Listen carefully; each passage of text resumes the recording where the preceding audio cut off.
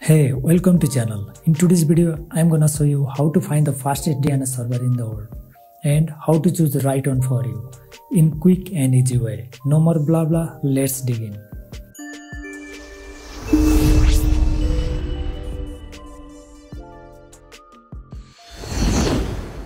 Well guys, without DNS the internet would not exist. If I go deep and try to explain, it will take a lot of time. So to make this video short, I just want to give you a brief introduction about it. The DNS or domain name system maps the human readable alphabetic name of websites such as radhachip.com to the machine readable numeric string IP address. Something like this.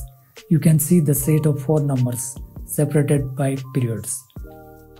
Remember that IP address is allocated by IANA, Internet Assigned Number Authority. Now let's come to the point. Sometimes the DNS provided by our ISP fail to function properly and our browsing speed slow down dramatically. Even sometimes we can't access some websites.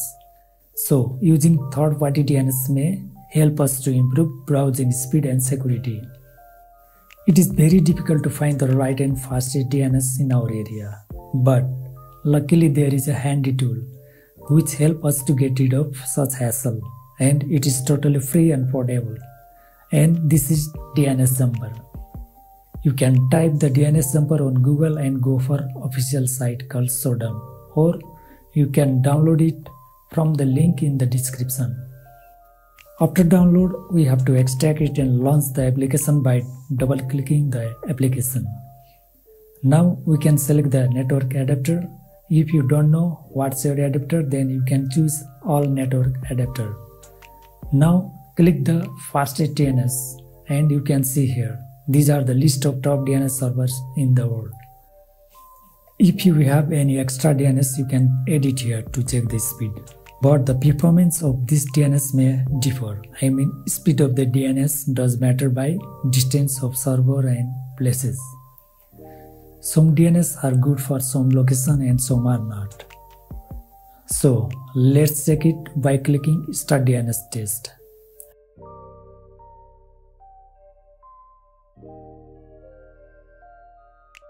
Now you can see this software will automatically sort fastest DNS orderly, the fastest one to the top. You can see in my area Cloudflare DNS is faster with less response time than Google public DNS. Now I can hit the apply DNS server since it automatically selected it for me. Or you can select it and right click to apply DNS server. Now we can close it. It will automatically set the DNS for my PC. So I simply no need to set or change the DNS manually.